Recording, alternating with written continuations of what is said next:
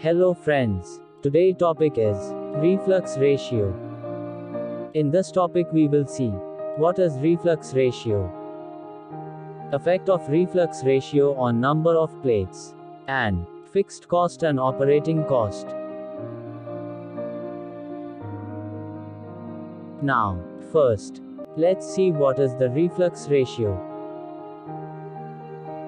So, the molar ratio of amount of liquid fed back to the top of column as reflux to the amount of liquid withdrawn from the top of column as distillate is called the reflux ratio. Hence we can say that reflux ratio is the ratio of molar flow rate of reflux to the molar flow rate of distillate. It is denoted by R. Now let's see what are reflux and distillate. So, in this distillation column, the liquid mixture to be separated is introduced here as feed. The tray or plate where feed is introduced is called a feed plate. The section above the feed plate is called the rectifying section, where the vapor is washed to remove a less volatile component with the liquid. The section below the feed plate, including feed plate, is called the stripping section, where the liquid is stripped of more volatile component by rising vapor. Then vapors generated in a reboiler are fed to the bottom of the column. The liquid removed from the bottom of the column is called the bottom product or residue, which is rich in a less volatile component. Then the vapor rising from the top of the column is fed to the condenser. Then the part of the condensed liquid is returned to the column is called reflux. B. By doing reflux, we can increase the quality or purity of the product. The remaining part is withdrawn is called top product or distillate, which is rich in a more volatile component.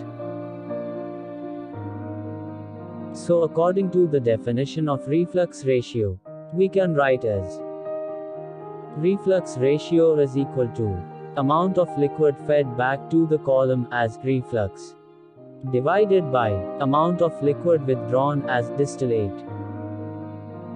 Hence, R is equal to L divided by D. Now, let's see the next topic. So the next topic is effect of reflux ratio on the number of plates. Let's see this graph. So in this graph, on the x-axis, the reflux ratio is plotted. And on the y-axis, the number of theoretical stages is plotted.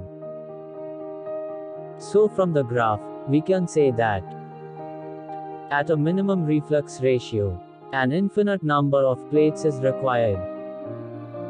Then as the reflux ratio increases, the number of plates decreases.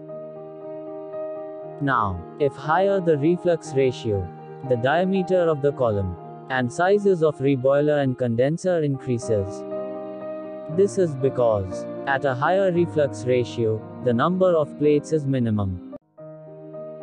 Due to this, the time of contact for mass transfer in the column will be minimum. Hence for better separation, the diameter of the column and sizes of reboiler and condenser increases. Now let's see the next topic. Effect of reflux ratio on fixed cost and operating cost. Let's see this graph. In which, reflux ratio plotted on the x-axis, and annual cost plotted on the y-axis. So from this graph, we can say that at a minimum reflux ratio, the fixed cost is infinite. While the operating cost, that is, cost of heat supply to reboiler and condenser coolant, is minimum. Then, as the reflux ratio is increased, the number of plates decreases. And hence, the fixed cost first decreases, then passes through a minimum, and then increases. Then, the operating cost increases continuously with the reflux ratio. The total cost, which is the sum of fixed cost and operating cost, decreases to minimum, and then increases with the reflux ratio. Hence the optimum reflux occur at a point where the sum of fixed cost and operating cost is minimum. The optimum reflux ratio is usually lies in the range of 1.1 to 1.5 times the minimum reflux ratio. So that's all about reflux ratio and its effect on number of plates and the fixed and operating cost. If you like my video, please like my video. Share this video with your friends and subscribe to my channel.